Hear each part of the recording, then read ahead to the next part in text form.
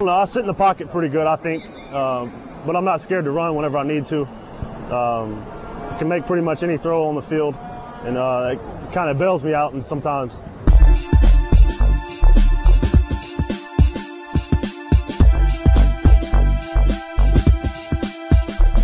Ironically, I could say Brett Favre.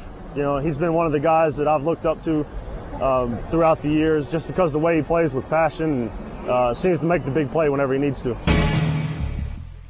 Make the team again like I did last year and uh, take this valuable experience that I'm gaining this year and uh, apply it on the field.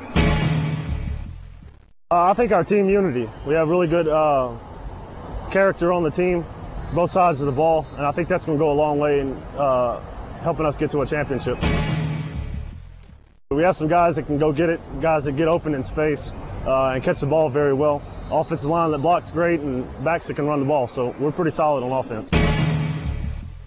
Feels really good to get some experience. Uh, hopefully go back next year and uh, make the team again. Uh, but I'm enjoying my experience so far.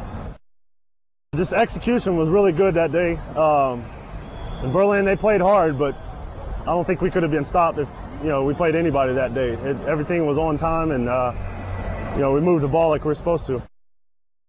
It was back in high school, and uh, I've been playing baseball my whole life, and picked up football. And uh, whenever high school started, I really enjoyed it and worked all, uh, worked really hard to get better at it.